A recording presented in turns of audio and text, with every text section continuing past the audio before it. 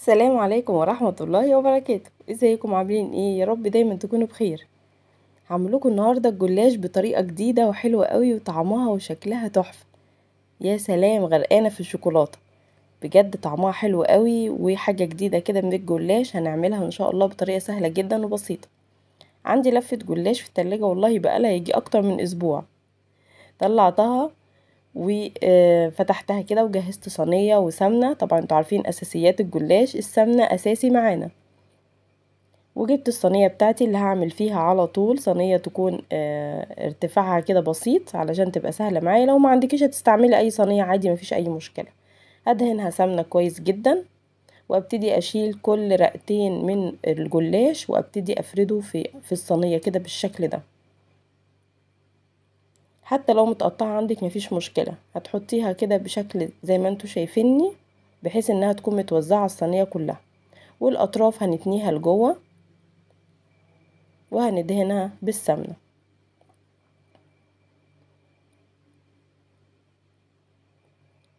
صينية الجلاش دي مش هنحشيها بأي حشوة هنعملها سادة.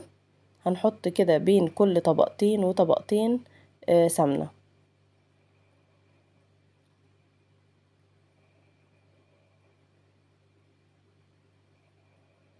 ونوزع السمنة بتاعتنا بعد كل طبقتين من الجلاش.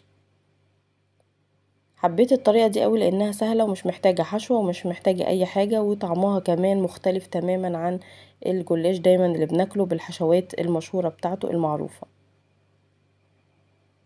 بحاول دايما ألف الصينية في كل مرة بحط فيها ورقة الجلاش بحيث إنه التانية لما تيجي تيجي متساوية من كل الجوانب.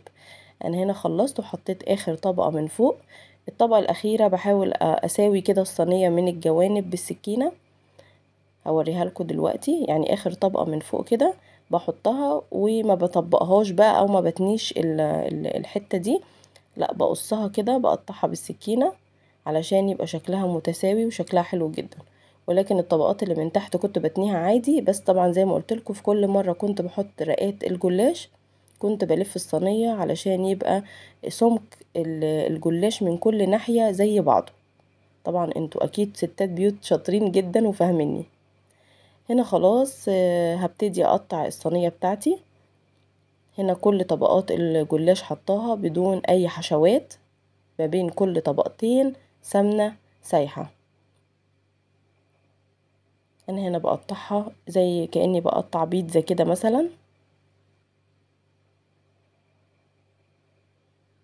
تقدري طبعا تقطعيها بالطريقة اللي تحبيها بس أنا حبيت الطريقة دي أكتر في اللي هي بيكون عليها صوص الشوكولاتة.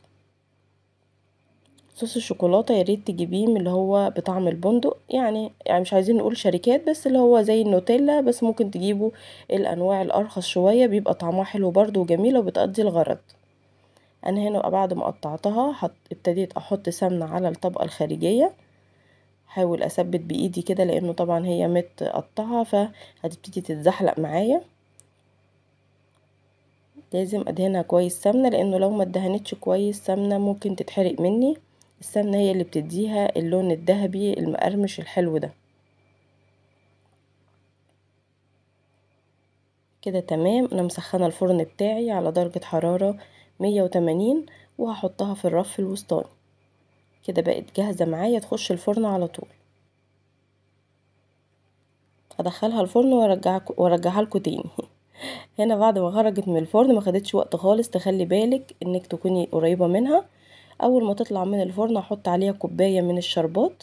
هو كان موجود عندي. الشربات طبعا إحنا عارفين كوبايتين من السكر كوباية من المية وعصرة نص ليمونة. ولو عندك معلقة عسل نحل بتحطيها عليها. وهي سخنة زي ما هي برضو حطين بعد ما حطيت الشربات وشربها تماما الشر... يعني هي شربت الشربات. طبعا عايزة أقول لكم كوباية الشربات دي قليلة على صينية الجلاش بس أنا عملت كده علشان ناوية أحط شوكولاتة مش عايزة أحط أكتر من كده سكريات. فاكتفيت بكوباية الشربات آه وابتديت أحط بقى صوص الشوكولاتة أو الشوكولاتة اللي هي النوتيلا. طعمها بقى جميل جدا جدا. طبعا أنتوا عارفين النوتيلا بيبقى طعمها عامل إزاي فمش قادرة اوصف لكم بقى جمالها.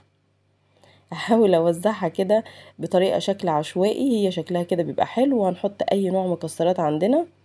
يعني لو مفيش أي نوع مكسرات شوية سوداني مفيش أي مشكلة. وتعمليهم بالسكينة كده تكسريهم بالسكينة وتحطيهم على الوش. بيدوا شكل حلو وطعم حلو قوي.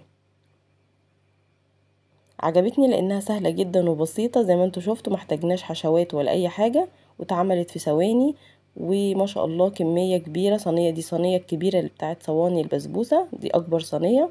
وعملتي حلويات من غير أي مجهود. لو عجبتكم الطريقة ما تنسونيش في اللايك والاشتراك. والسلام عليكم ورحمة الله وبركاته.